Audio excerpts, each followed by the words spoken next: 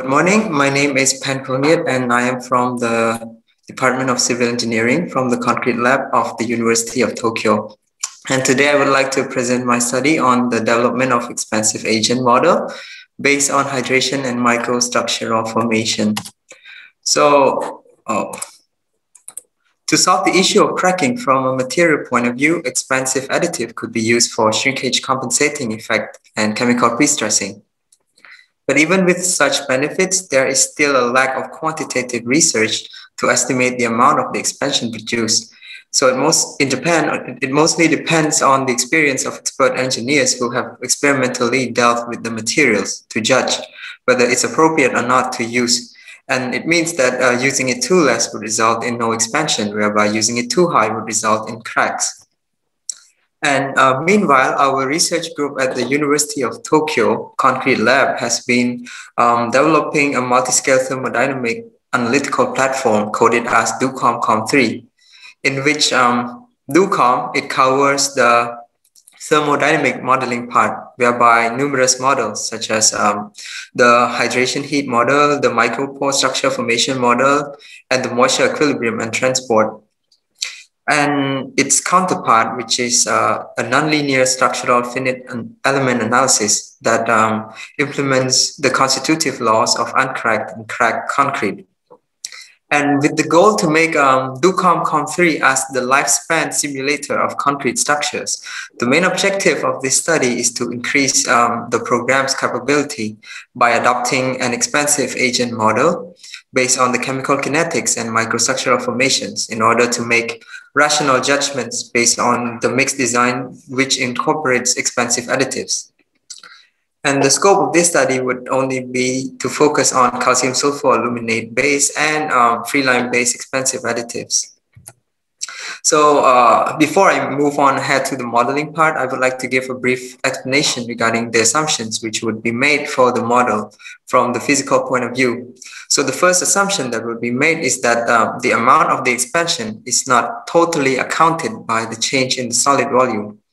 And the schematic diagram shown here were made from um, Ogawa's SEM image under a specific test condition by using synthesized hauyne and as can be seen in these red boxes, uh, even after the degree, the degree of hydration has reached approximately 70%, the expansion hasn't even begun yet. So therefore, we cannot conclude that the volume change is directly proportional to expansion.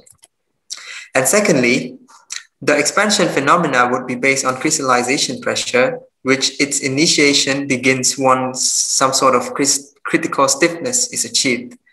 As shown in stage three here, once the contact point has been established and the pay skeletons possess uh, minimum stiffness, repulsion due to uh, crystallization pressure would appear at the contact points, and then it would start to push the skeleton apart from each other to make the expansion. And thirdly, as the hydration progresses, new expansive hydrates would contribute to the crystallization pressure and expansion would continue to occur. So with that being said, the scheme of this study would be the focus of these three main points, which were, are based on the assumption which were mentioned previously. So first, it's the development of the hydration model for the expansive phases. And two, it's the microstructure of the system of expansive additives. And three, the expansive pressure, the expansive pressure itself, which is to be calculated from the amount of the expansive hydrates. So first, let's start off with the hydration model. So the degree of hydration could be determined as the amount of the heat released at a certain time t divided by the uh, maximum heat released by all of the component of the cement phase. And then the amount of this the heat release is further can be um, determined from the uh, from the product of the heat rate of, a, of each component by the time elapsed.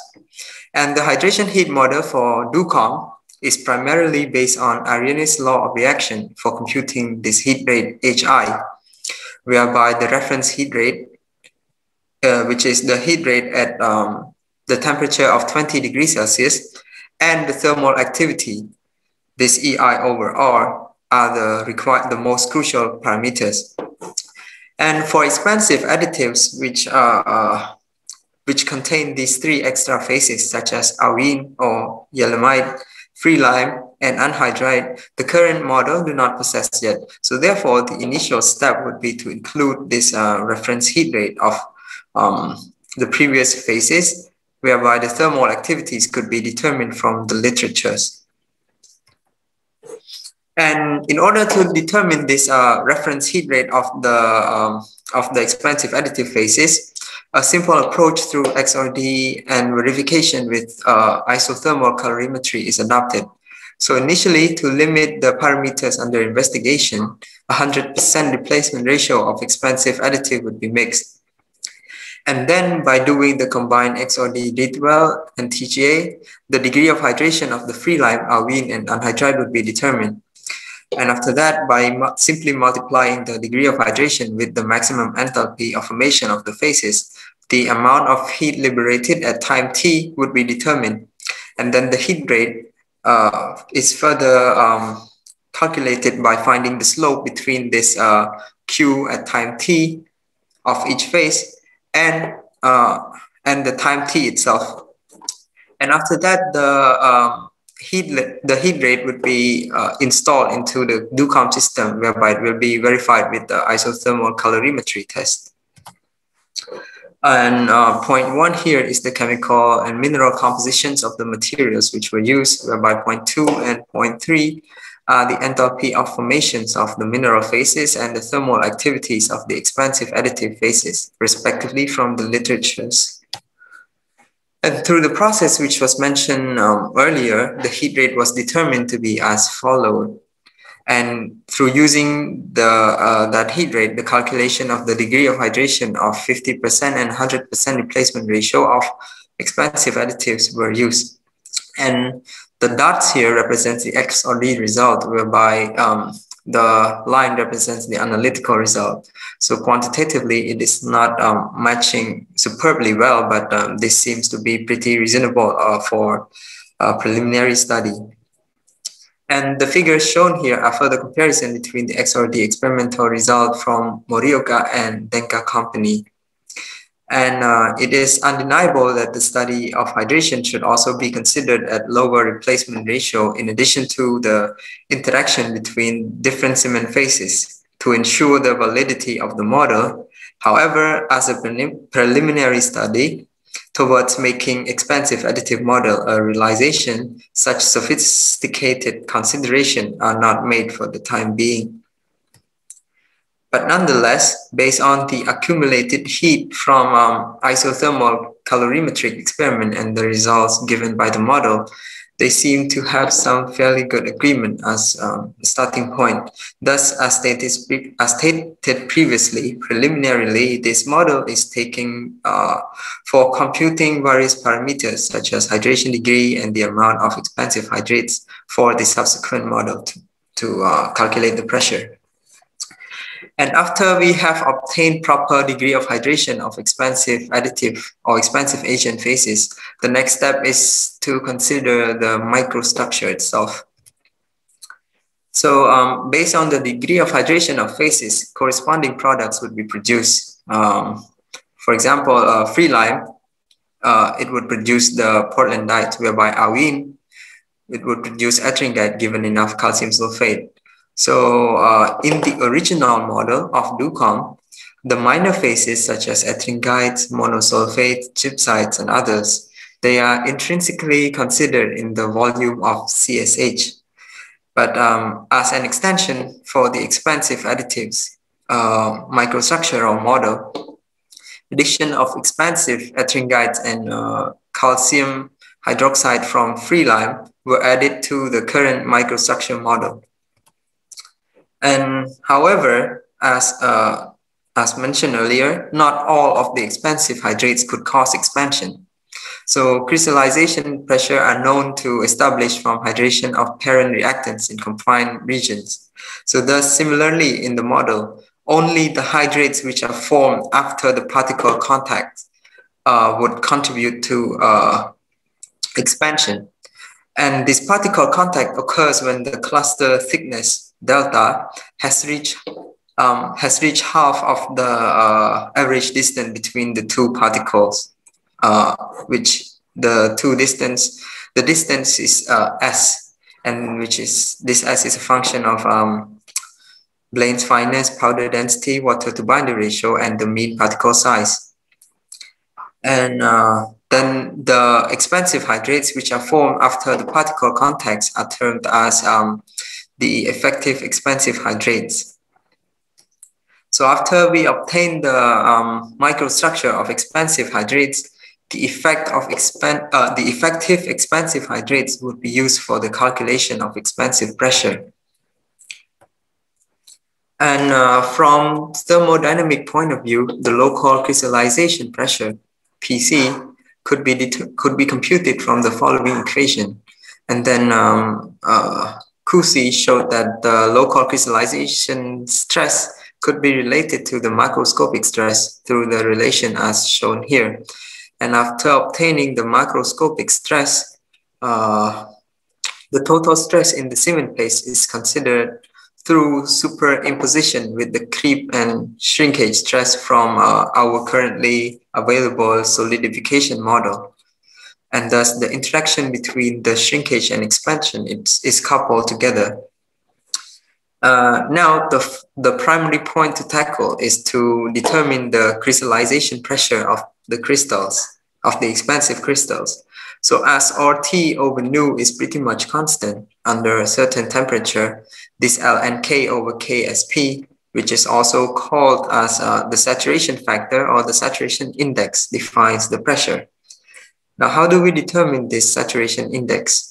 So based on through solution hydration mechanism, it involves anhydrous, it involves anhydrous cement grains detaching their particle into waters and which then the water would become a solution of ions and after the solution has reached its supersaturation state, the hydration products would be formed and precipitate back on the particles. And K is usually obtained from the products of these ions in the pore solution.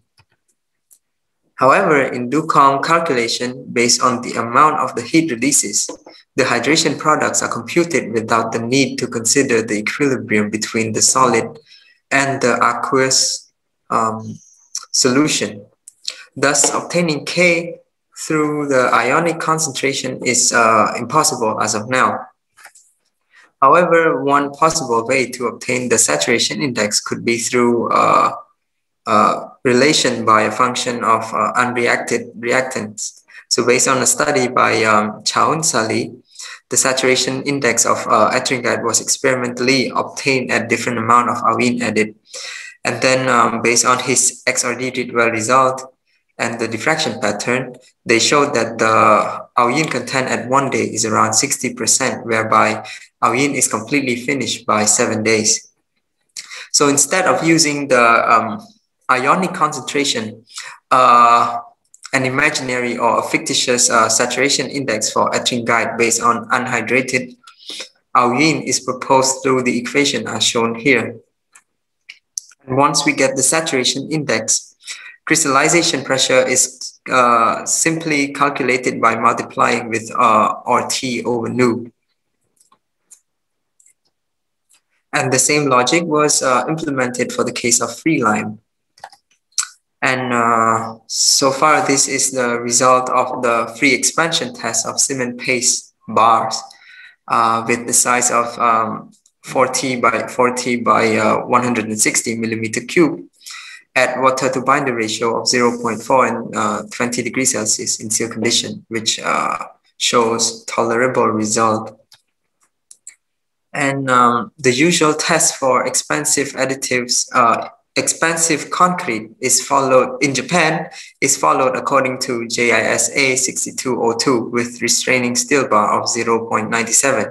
So under this test condition, the effect of the addition could be reflected considerably in the practical range of uh, uh, around 6%, which is this red line, uh, for shrinkage compensating effect. So uh, in summary, based on the composition of the clinker, the hydration degree would be calculated. First, the, the hydration degree could be calculated based on the uh, multi-component heat of hydration model which is based on the heat released by each component. And based on the hydration degree, the microstructure of the cement matrix is formed, whereby fractional volume of uh, expansive hydrates such as calcium hydroxide and ettringites could be determined. However, not all of the not all of the uh, not all of the volume of the expansive hydrates are accounted for expansion. In fact, only the volume of expansive hydrates after the contact points have been made would contribute to expansion. And then um, using that uh, that expensive that amount of effective expansive hydrates, the expense, expansive stress could be expressed through upscaling relation by Coussy to the concrete, and then superimposing it with the solidification model, which determined the creep and shrinkage of both cement paste and aggregates. This system of calculation could capture the behavior of both expansion and shrinkage of cement matrix based on the initial chemical composition of the binder. So that is all from my presentation. Thank you for your participation.